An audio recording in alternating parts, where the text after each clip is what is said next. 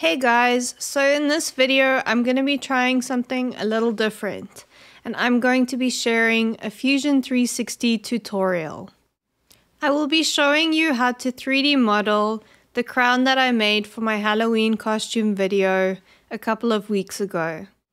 And to be honest with you, I wasn't really looking forward to recording the voiceover for the video because I'm not really sure how it will be received on YouTube. I'm personally someone that prefers um, like 3D modeling tutorials where there is no talking and I can just watch and copy whatever the person's doing on the screen. But I know some people prefer hearing every step being spoken to them. So I thought I'd try that version because I don't know. Yeah, I don't know what you guys want. what do you want? What do you want? It's not that simple. What it's... do you want? Anyway, let me know what you think and let's start with the tutorial. So here are a few things that I'd like to mention before getting into this tutorial. When I mention the origin, this is the object that I am referring to. You can toggle its visibility by clicking on this button but mostly it will appear by itself when creating things in Fusion. It's also represented by this icon in the sketching space.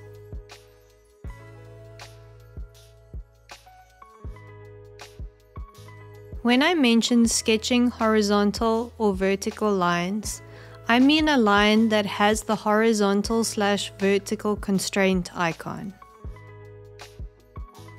Fusion will snap your line to the horizontal or vertical position and you will know it has when this icon shows up. Alternatively, in order to make a perfectly horizontal or vertical line, you can sketch a slanted line, select it, and then click on the horizontal slash vertical constraint button.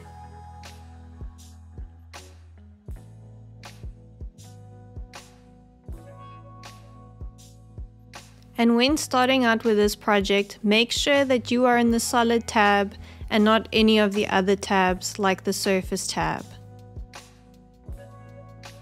So phase 1 is to make the main base of the crown.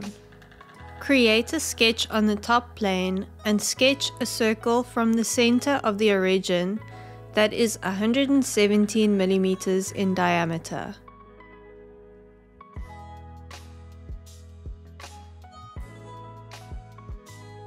Select O on your keyboard to bring up the offset option and select the circle sketch. Create an offset of 6.5 millimeters towards the outside. Select the offset plane button from the construct drop-down menu and click on the top plane. Set the plane 50 millimeters above the top plane. Create a sketch on this new plane and sketch another circle from the center of the origin that is 152 millimeters in diameter. Select O on your keyboard again, select the new circle sketch and create an offset of 6.5 millimeters towards the outside. Select the Create drop-down menu and click on Loft. Create a loft by selecting the outer circles from each sketch. Make the sketches visible again and select the loft option again. Now create a loft cut by selecting the inner circles from each sketch. Make sure that it says cut instead of join, new body or intersect next to operation.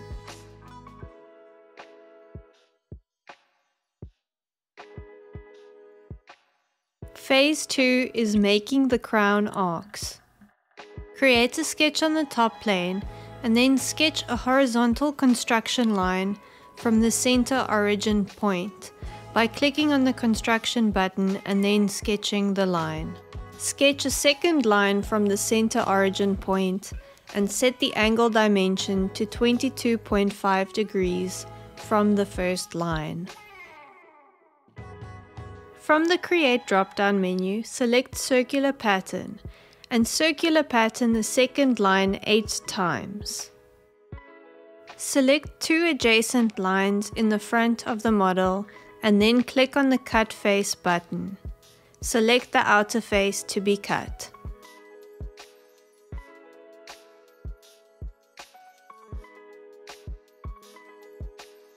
Create a sketch on the front plane. Press P on your keyboard to bring up the Project option. Click on the two top points of the new lines that were created by the face cut. Select the three-point arc button from the Create drop-down menu and sketch an arc onto the two projected points. Roughly sketch lines to close the profile. Select the Extrude button and select the closed profile. Extrude cut through the front of the model. From the Create drop-down menu, select the Circular Pattern option and select Features in the Object Type drop-down. Select the Extrude Cut feature that's shown in your history bar and circular pattern it 8 times. Phase 3 is making the pillow. Create a sketch on the front plane. Press P on your keyboard to bring up the project option. Select all the inner arc edges to project.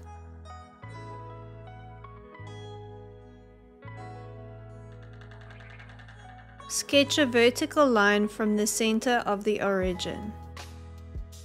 Sketch a diagonal line from the outermost projected point to the bottom line of the crown and then a horizontal line to the center point. Then use a spline to sketch the pillow profile from the outermost projected line to the center line. Adjust the profile as desired.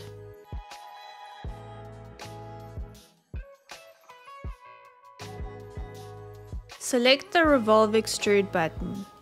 Then select the closed profile to Revolve Extrude. Select the center line as the axis and then finally select join from the operation menu. Phase 4. Adding the decorative details. Select the extrude button and select the bottom face of the crown as the profile to extrude down 20 millimeters. From the Create drop-down menu, select Sphere and select the front plane to map the sphere onto. Create a sphere with a diameter of 16 millimeters and be sure to select New Body from the Operation menu.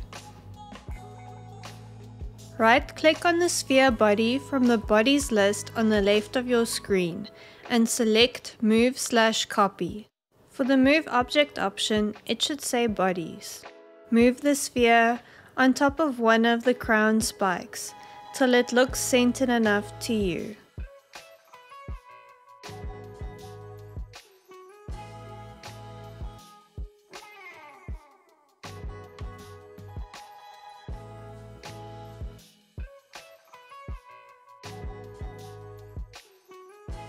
It's not going to be exactly center, but it will still work.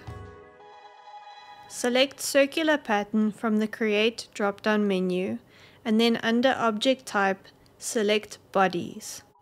Then click on the sphere body and circular pattern it 8 times. Create a sketch on the front plane. Press P on your keyboard to bring up the Project option and then select the pillow curve line to project. From the Create drop-down menu, click on Sphere. Select the front plane to map the sphere onto and create the sphere as close to the line as possible. Make the sphere 6mm in diameter and make sure operation is set to new body. Select pattern on path from the create drop-down menu. Select the sphere body and the projected curve line as the path. Drag and pull the arrow down to where you want the spheres to end on the pillow and create four spheres.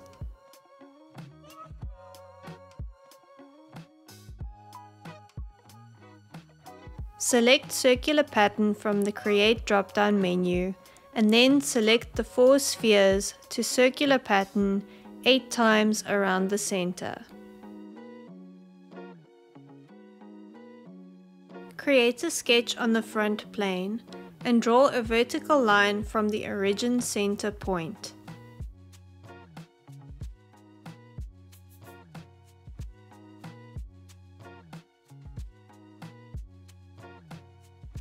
For some reason I drew a horizontal construction line. Please ignore this line. Sketch a horizontal line more or less where you want the top decorative spike to begin coming out of the pillow. Then select point from the create drop-down menu and draw a point in the center of the line.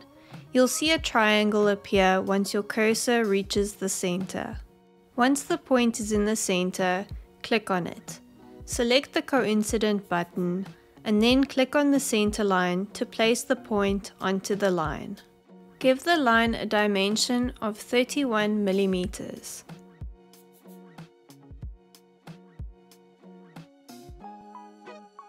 Draw a construction line next to the center line and make it 43 millimeters.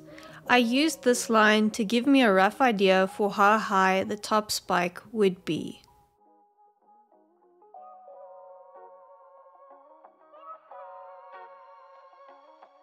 Sketch half of a teardrop using the spline option. Adjust it how you want.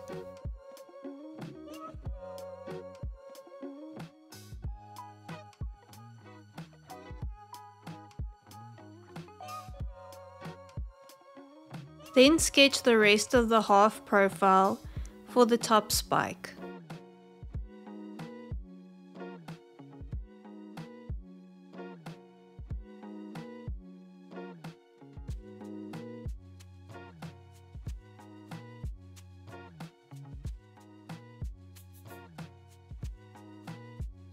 Select the half profile and revolve extrude it around the center line. Make sure that join is selected for operation.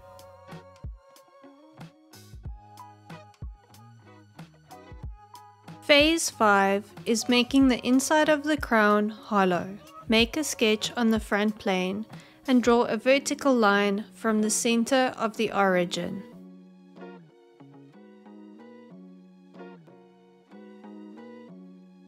Project the bottom line of the crown and sketch a vertical line from the projected line.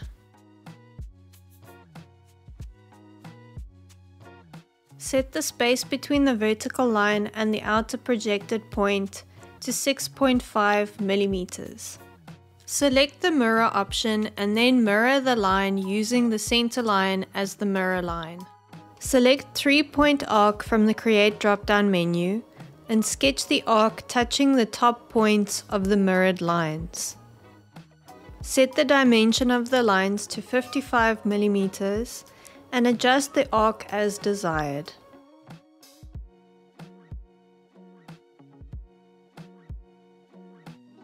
Then select one of the halves of the sketched profile and revolve cut it around the center.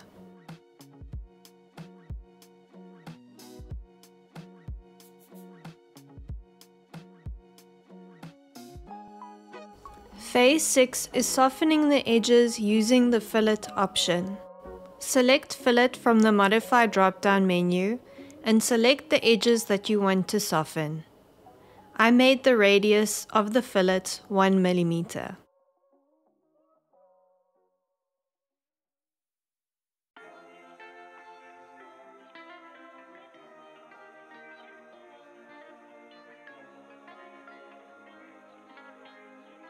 Phase 7 is creating the holes in the crown so that you can add ribbons to tie the crown to your head.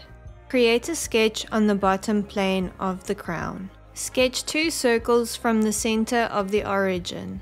Make the first one 128 millimeters and the second 122 millimeters. Then sketch a horizontal construction line from the center and then two lines on either side of it also from the center.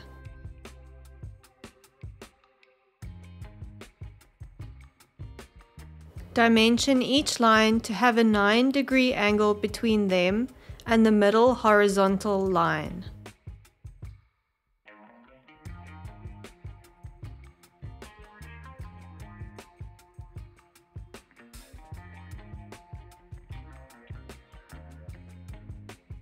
Select Plane at Angle from the Construct drop-down menu and select the Z-axis.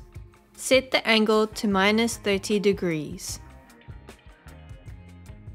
Then select Offset Plane and click on the angled plane. Set the distance to 10.5 millimeters and create a sketch on the offset plane.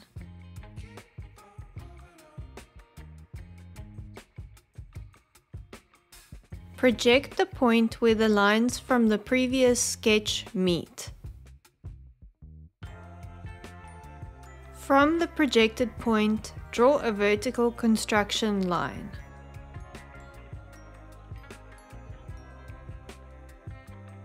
Then sketch another two circles from the projected point. Make one 128 millimeters and the other 122 millimeters.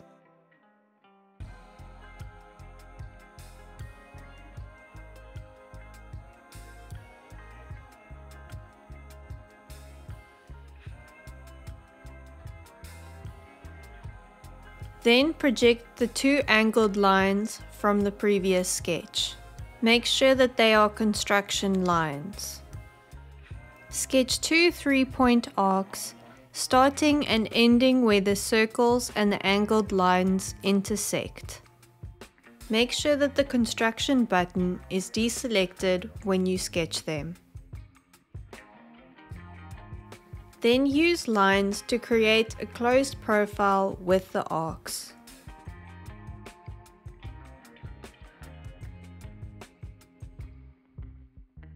Select the loft option from the Create drop-down menu and select the two closed profiles of both sketches.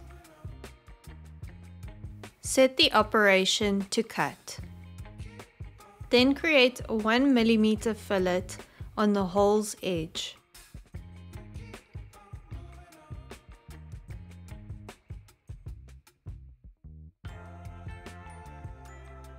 Select the mirror option from the Create drop-down menu. Set the object type to Features, and then from the History line, select the Loft feature. Select the right plane as the mirror plane.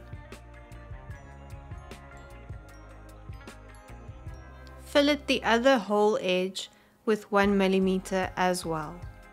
And finally, Soften all desired edges with the fillet option.